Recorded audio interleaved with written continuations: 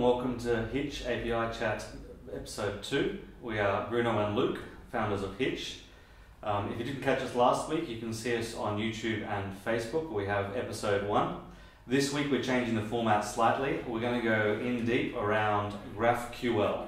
So, this is one of your, your favorite topics, Bruno. I just want to read the, the title of your first blog post around this Three Reasons Not to Use GraphQL. So you were outlining GraphQL does not offer information hiding. Number two is not versions. And three, responses cannot be safely cached. There was a bit of controversy after that. We had some of the actual people who started GraphQL commenting around that. Um, do you still stick with, with that, that approach, or have you learned a bit with the, the feedback we got from the blog post? Yeah, there was a lot of uh, feedback, you know, a lot of, uh, let's say, comments. Uh, some of them specifically addressing uh, one of those three different issues, uh, but some more also some more generic comments around it. Uh, I, I, I still believe in, in, in what I wrote before, so yeah. I'm not changing my position.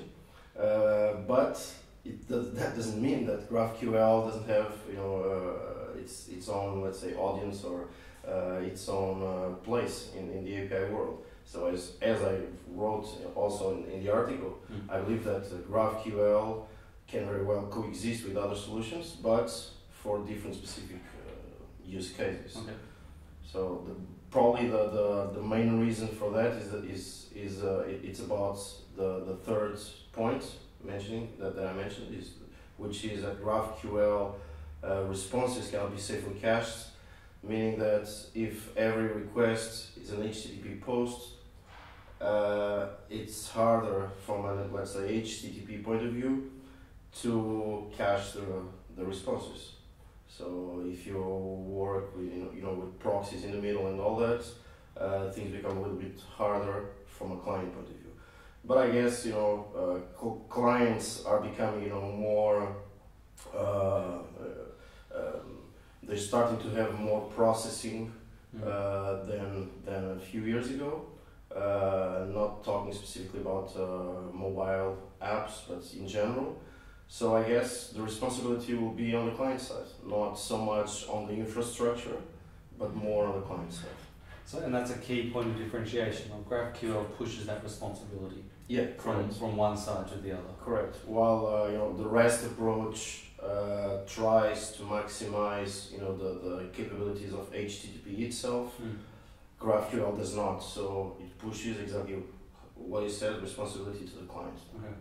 So, are we getting into a world um, which is basically internal teams? There's going to be a fight of REST versus GraphQL.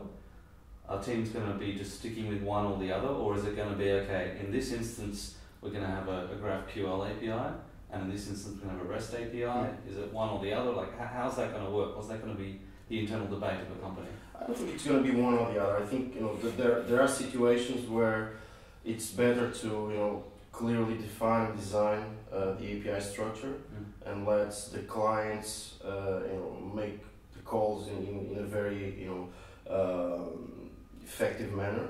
Uh, and there are situations where you don't know exactly which clients and, and how clients are going to, to consume the data, so you might want to just uh, make uh, all the data available or, or, or, almost all the data available. And uh, this might be a good reason to use GraphQL. Okay, understood.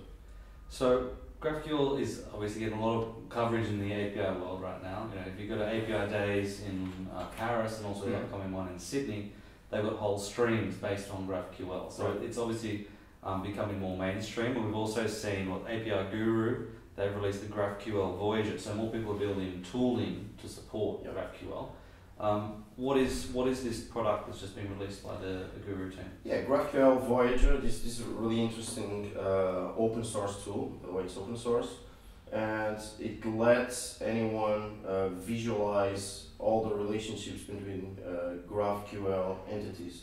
So, as in, uh, you know, uh, you would do with a database let's say entity relationship diagram.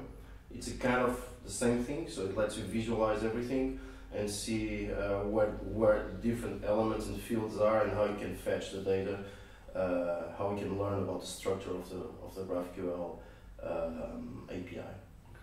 And just, just one other random question from that. Of obviously, we focus a lot on API documentation. Mm. What's the impact um, of GraphQL on the documentation sphere? Are we going to be able to use the same standards um, of um, documentation to reflect what's happening with GraphQL, or is it going to have to have its own um, documentation standards? I think that's that's yet you know to be seen, and then the, I think I think we're, we're at a fairly you know early stage on that, and there are, in my opinion, there's different you know possibilities here. One possibility is GraphQL following the same approach as as any other database uh, followed in the past. So you have you have a data set, you have a model for that data, and the documentation is about the data model, because the main difference here is that with GraphQL, uh, the operations don't need to be documented Okay. because you have a specific set of operations of things you can do with, with data. Okay. With REST, you need to document the operations because you can build any operation you like, right? So the only thing left to document is the data model. This is one direction. Another direction is GraphQL going in the same direction as SOAP did in the past. So you specify a data model and then you specify some sort of you know front layer that will abstract certain operations. But I think this is all fairly you know recent, so Yeah. let's let's wait and see. Okay, great. So obviously 2017 will be a big year for GraphQL. Um, we'll be sharing our thoughts as we go along, and obviously we'll be looking at what's happening in the market and the tooling um, around it. Uh, next week for us, uh, there'll be Mobile World Congress in Barcelona, so we'll be chatting to a few people at the event and also here at our engineering office in Barcelona. Um, if you're in town, please drop us a line. We'd uh, love to catch up and talk APIs. In the meantime, we hope to see you soon, and thank you for your time.